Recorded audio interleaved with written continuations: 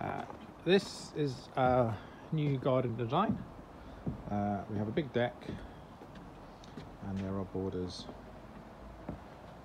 around the edge, about 80 centimeters to a meter at times.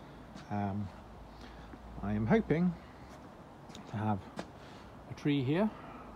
I'd love a silver birch. It's probably too big, but there we are. Um, another tree here. I'm kind of very conscious that this used to be lawn, um, which was a monoculture, but I feel really bad that we have a patio down there. So I want to make it a bit of a wildlife haven. Um, I'm going to put some log piles somewhere. My wife would like a tree fern, maybe in a pot, maybe down here. Um, I'm going to try and put like a sort of a micro bucket pond somewhere and maybe a water feature, kind of raised pond in a pot type thing. Could be on the patio, could be over there.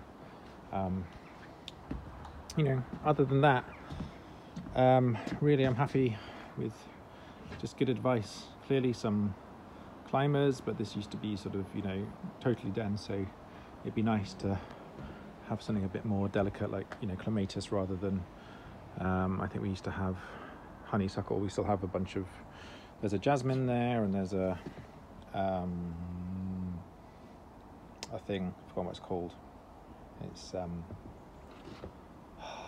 what is it? Forgotten it. I could I could tell you. Uh, there's a nice acer um, so yeah it's a small garden. Um, thinking about like planters here potentially to kind of take away the sort of the look of the brickwork. Um, I like ferns and sort of foresty type stuff.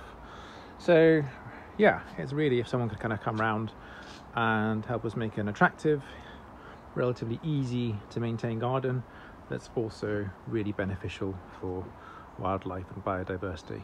That's the drill, hopefully. Uh, thank you.